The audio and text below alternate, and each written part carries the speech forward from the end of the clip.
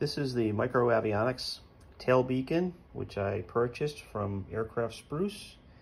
And I tried to install that yesterday in a uh, BE55 Baron.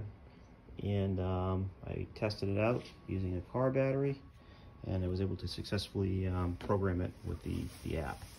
Um, I did run into a couple of problems with the installation. Um, the first one being um, the mounting uh, plate here. You can see if I take this apart, this is the mounting plate that comes with the unit. And right there, okay, it comes off like such. And the, the first problem was that the, the screws, the mounting plate screws were the wrong size uh, for my airplane. This is the screw that came out of the airplane. This has a um, kind of a square head to it. Um, and that's a number um, six screw. This one is the screw that came with the uh, with the tail beacon right here. That's a number four screw. So I had to go to a larger screw. Um, this is this is another number six screw uh, that uh, I provided. Um, so the screw was too small um, for my airplane. So um, turned out this had to be uh, drilled out.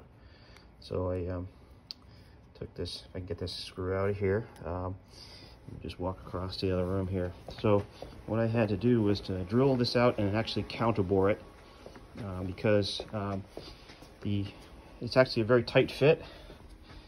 Uh, the, the the uh, tail beacon uh, fits in here very tightly. So I, I use this uh, drill press here to uh, counterbore. After, after I had drilled it with a standard drill, um, I use this uh, counterbore, and you can buy them at Lowe's. Um, just a simple counterbore tool that looks something like that. But that's what had to be done because the, the fit was the the um, the fit was so tight um, that um, it had to be um, drilled and counterbored. And I'll show you what it looks like now. Well, you, you saw it already attached.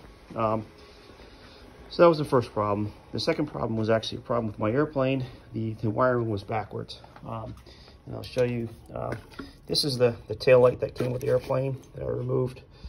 um, and here's the cable that I, that I snipped.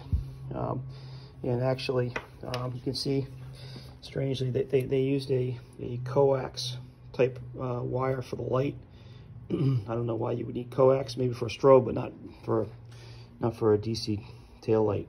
Um, and actually, when I went to hook it up, it didn't work. And, the, and we found out when I put the meter on there that the, um, the problem was the hot side is actually the ground of this coax. So the aircraft needs to be um, rewired.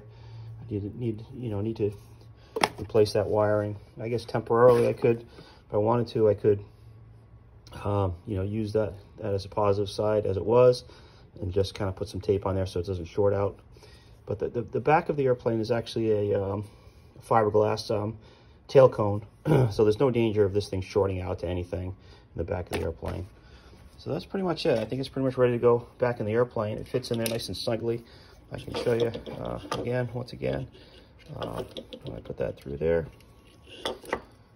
Uh, through there. Install that. Get that in there real good. You can see, there we go, right, just like that. It's, it's nice and snug.